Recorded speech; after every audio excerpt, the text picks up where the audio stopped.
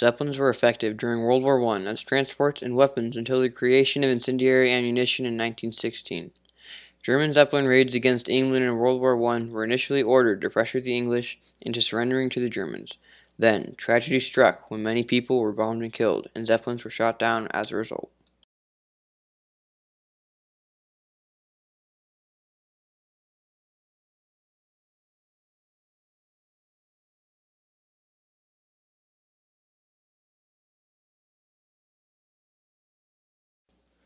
Originally, Zeppelins were invented by Ferdinand von Zeppelin. Ferdinand was nobility in Germany and was educated by personal tutors. Ferdinand originally stated his idea for the Zeppelin in a diary dated March 25, 1874. He was inspired by a speech on air travel. After his resignation from the army, Ferdinand designated all of his time to the Zeppelin. July 2, 1900, was the first flight of a Zeppelin, and the Zeppelin that was flown was the LZ 1. After this development of the Zeppelin, the government was very interested by this lighter than air machine. Ferdinand had the Zeppelin patented and started making a lot more Zeppelins. By 1914, the German Aviation Association had overseen the transportation of 37,250 people and over 1,600 flights without an incident. Zeppelins that weren't good for public use anymore were given to Army service. One example of a Zeppelin that was given to the Army was the Hindenburg, the failed Nazi Zeppelin. This is the introduction to the use of Zeppelins in warfare. By 1914, German airships had flown over 100,000 miles and carried 37,000 civilian passengers without incident. In the years that preceded the war, the German military became interested in airships and it was not long before her army operated mostly Schütte-Lanz airships and her navy operated Zeppelin airships and intended to employ those airships for scouting missions.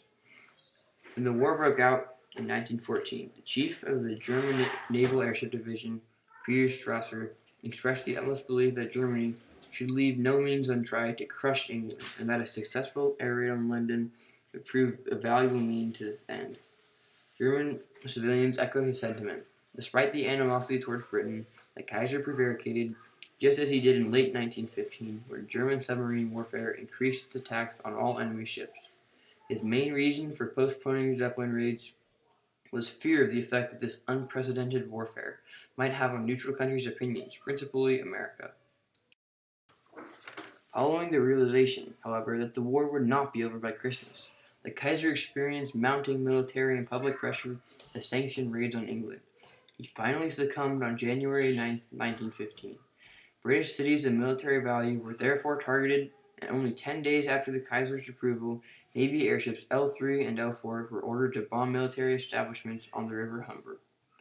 During May, the German military pressed the Kaiser for a free hand over London, for they believed it would be a mistake to spare the capital, it would not be understood by the German nation and would be regarded by England as a weakness. The Kaiser failed to yield to this pressure, Yet on May 31st, German Zeppelin pilot Linnarz, uh, allegedly believing he had stuck to the Kaiser's original conditions regarding the bombing of London, showed he was true to this earlier threat when he successfully bombed the capital.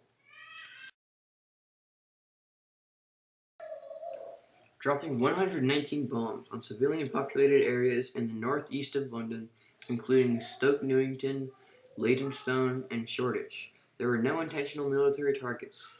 Seven were killed and 35 injured. All but two injured soldiers were civilians. The Germans, including the Kaiser, were overjoyed. The city of London, the heart which pumps the lifeblood into arteries of the brutal Haxter nation, read the News Nachrichten of Leipzig, has been sown with bombs by German airships. Four further raids on London followed in 1915, and again there were generally no mil intentional military targets more just an ethos of bomb what you see fit on the night. Furthermore, military targets were rarely hit, and most bombs fell in residential areas. London's second raid on 17th of August saw Navy airships drop 107 bombs on East London, including Walthamstow, Leyton, and Leytonstone. Ten civilians were killed and 48 were injured. The Army followed on September 7th by dropping 97 bombs on the east and southeast of London, including the Docklands and Deptford. Although one airship bombed the Millwall docks, a section of southeastern and Chatham railway track, and an area near to the Royal Dockyard, 18 were killed and 30 were injured. All but one injured soldier were civilians. Spurred on by this success, Navy airships targeted London the subsequent night, dropping 152 bombs over central London, including Bloomsbury, Holborn, and the city, while some warehouses north of St. Paul's bore the main brunt of this attack, and an area of Liverpool Street Station had a few yards of track ripped up, residential areas were again hit. 26 were killed and 94 injured, all but two of both the latter and the former were soldiers. London's and England's final airship raid in 1915 came on the 13th of October, causing the greatest casualties of all airship raids during the war. 189 bombs were dropped on mainly central London, including the Strand and Aldwych, although Woolwich was also hit. Though some bombs slightly damaged Woolwich's arsenal, the majority, though aimed at the Admiralty near Trafalgar Square, fell half a mile off target. Striking the heart of London's Theatreland, 71 were killed and 128 were injured.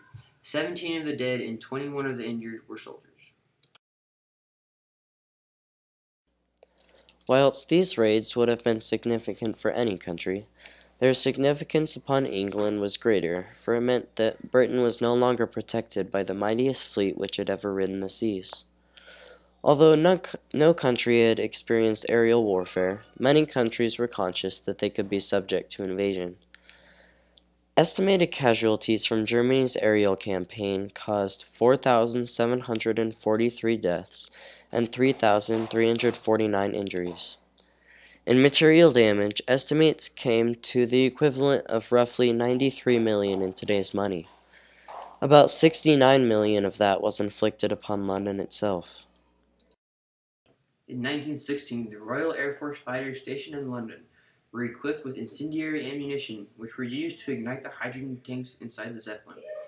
This caused many Zeppelins to burst into flame and slowly fall to the ground below while the crew was usually attempting to bail out, which usually caused them to fall to their deaths because of the emission of parachutes to save weight, which would allow the Zeppelins to rise faster.